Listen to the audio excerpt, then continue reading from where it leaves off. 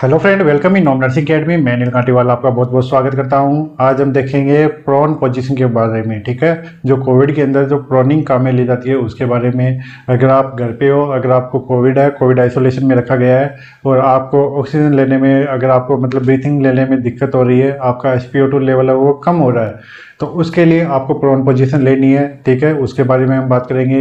ये रिकमेंडेड है WHO के द्वारा मिनिस्ट्री ऑफ़ हेल्थ और फैमिली वेलफेयर के द्वारा अगर आपका एस पी टू लेवल है, वो थोड़ा कम आ रहा है तो उसी के लिए आपको प्रोन पोजीशन हुआ है, वो कैसे करनी है, कैसे लेनी है, उसके बारे में। ठीक है? तो इस वीडियो में हम शुरू करते हैं। इसमें हम सबसे पहले बात करेंगे प्रोनिंग इसमें देखिए proning is the process lying a patient on to their abdomen और स्टोमक। मतलब प्रोनिंग क्या है? Proning prone position prone position इसके अंदर जो भी क्लाइंट है, वो किस पे लेटेगा? पेट के बल लेटेगा। जैसे इसमें आप डायग्राम में देख सकते हो, इसमें ये क्लाइंट है किस पे लेटा हुआ है? अपने पेट के बल लेटा हुआ है, ठीक है? उल्टा लेटा हुआ। वो कौन सी होती है? वो होती है प्रोन पोजिशन इसमें देखिए, जो प्रोनिंग है, ये क्या है? मेडिकली एक्सेप्टेड पोजिशन जो प्रोनिंग है, ये एक मेडिकली एक्सेप्टेड पोजिशन जो क्या काम करने का काम करती है? Improve breathing comfort and oxygenation जो ब्रीथिंग को इम्प्रूव करती है और ऑक्सीजन लेवल को बढ़ाने का काम करती है।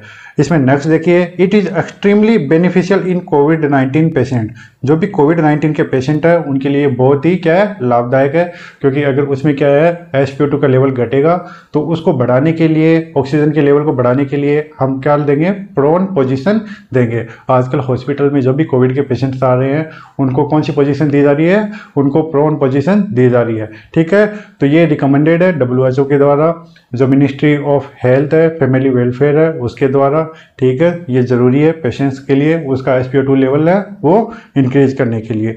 और जो प्रोन पोजीशन है, इसको हम वेंटिलेटर ब्रीथिंग पोजीशन के नाम से भी जानते हैं, ठीक है? इसमें नेक्स्ट देखिए इंपॉर्टेंस ऑफ़ प्रोन लाइंग यानी जो प्रोन लाइंग है, उसकी क्या इंपॉर्टेंस है, उसके बारे में देखेंगे हम। प्रोन पोजीशन इंप्रूव वेंटिलेशन जो प्रोन पोजीशन है, वो किसको इंप्रूव करती है? वेंटिलेशन को। Keep alveolar units open and breathing easy जो भी एल्वेलर यूनिट है, उनको क्या करके रखती है? खोल के रखती है और जो ब्रीथिंग है, उसमें आसानी से हो सके। ठीक है? इजी ब्रीथिंग के लिए कौन सी प्रोन पोजिशन है वो ज़रूरी है। नेक्स्ट देखिए important proning is required only when the patient feel difficulty in breathing तो जो भी प्रोन पोजीशन है, वो आपको कब काम में लेनी है? जब एस का जो लेवल है, वो 94 से कम हो। ठीक है? इंपॉर्टेंट है ये। जब भी आपका एस पी टू का जो भी लेवल है, अगर वो 94 से कम आ रहा है, तब आपको प्रोन पोजीशन है, वो लेनी है। और रेगुलर मॉनिटरिंग करनी है किसको? एस पी टू को, ठीक है? एस पी टू है, उसको आपको रेगुलर मॉनिटरिंग करनी है। इसके साथ, जो भी अदर साइन है, जैसे टेम्परेचर है ब्लड प्रेशर है, और ब्लड शुगर है, उसको भी आपको क्या करना है? रिकॉर्ड करना है, ठीक है? जब भी आपको होम आइसोलेशन किया गया है, आपको होम क्वारंटाइन किया गया है। इसमें नेक्स्ट देखिए timely proning and maintaining good ventilation could save many lives ये मिनिस्ट्री ऑफ़ हेल्थ के द्वारा बताई गई है यानी जो कई लोगों ने जिन्होंने प्रोन पोजीशन ली है तो उनके द्वारा कई जो भी जानी है वो बताई गई है।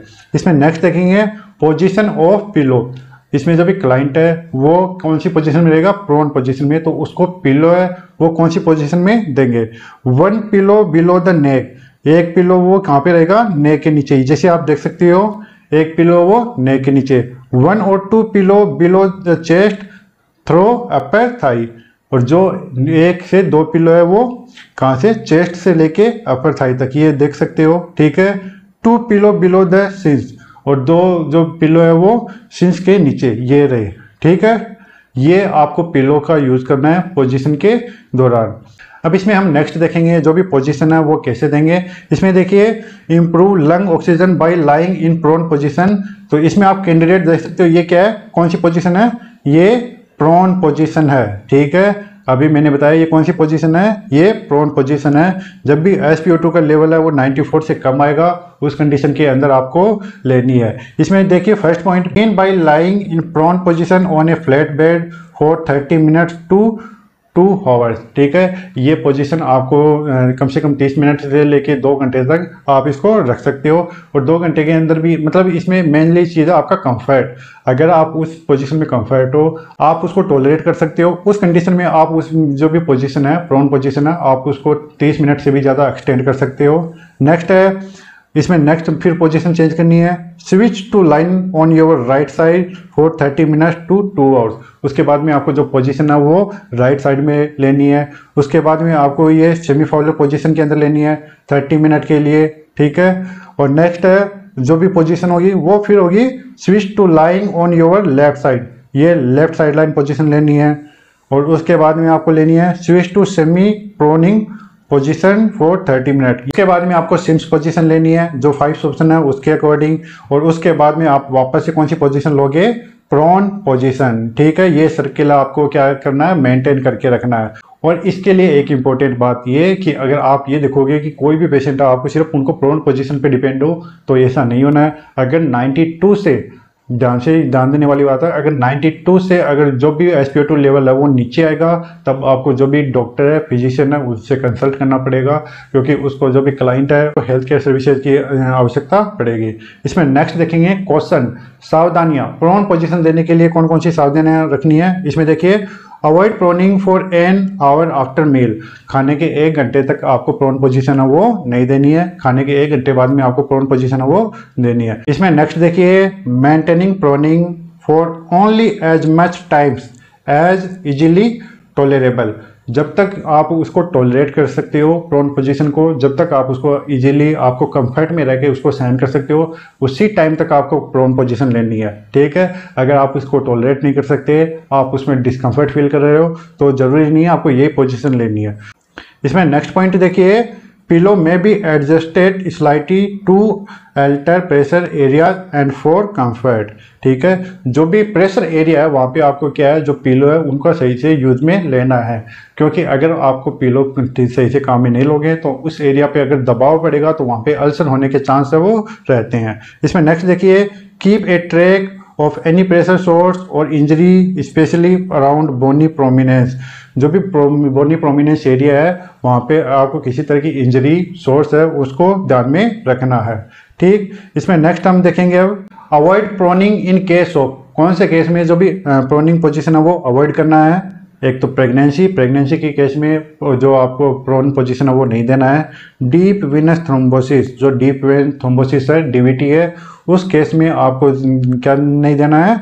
आपको अवॉइड करना है किसको? प्रोन पोजीशन को। मेजर कार्डियक कंडीशन जो भी कार्डियक कंडीशन है, उसके अंदर आपको प्रोन पोजीशन नहीं देनी। अनस्टेबल स्पाइन फीमर और पेल्वी फ्रैक्चर में आपको जो भी प्रोन पोजीशन है वो नहीं देनी है। ठीक है? इन केस के अंदर आपको क्या नहीं देनी? प्रोन पोजीशन प्रेगनेंसी में डीवीटी मेजर कार्डिक प्रॉब्लम और स्पाइन और फीमर के फ्रैक्चर के अंदर। ठीक है? तो ये था प्रोन पोजीशन के बारे में। अब मैं आपको बताता हूँ, अगर आप होम आइसोलेशन में हो होम क्वारंटाइन में हो, ठीक है? तो आपको क्या करना चाहिए? आप अगर आप होम क्वारंटाइन में हो तो आप देखिए अगर आप कोविड पॉजिटिव हो आ, लेकिन आपके अंदर जो भी लक्षण है जो भी सिम्टम्स है वो सीवियर नहीं है तो आप क्या करें? आप काम रहे हेवी एक्सरसाइज नहीं करें। जो हेवी एक्सरसाइज है वो ना करें। उसकी जगह आप क्या करें? योग योगा करें ठीक है? इसके साथ में हाइजीन मेंटेन करके रखें। गर्म पानी पिए।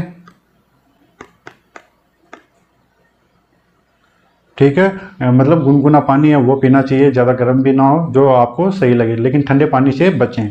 और इसमें नेक्स्ट अगर आप जिस भी रूम में रहो तो उसको क्या कर रखें? क्लीन और हाइजीन रखें। तो इसका ये फ़ायदा है, अगर आपका जो भी रूम है, अगर वो क्लीन और हाइजीनिक रहेगा तो उसे आपको क्या मिलेगी? पॉजिटिविटी मिलेगी। तो ये भी ज़रूरी है। अगर आप में सीवियर लक्षण दिख रहे हैं सीवियर सिम्टम्स आ रहे हैं तो आपको जो भी health care health care services है, उनको लेना पड़ेगा, ठीक है? हॉस्पिटल में दिखाना पड़ेगा। तो ये था कुछ बेसिक होम केयर मैनेजमेंट के बारे में प्रोन पोजिशन के बारे में। आई होप आपको ये वीडियो पसंद आया होगा। अगर आपको ये वीडियो पसंद आया तो इसे शेयर ज़रूर कीजिए। आपके जो भी रिलेटिव है, उनको बताइए। प्रोन पोजिशन के बारे में बताइए।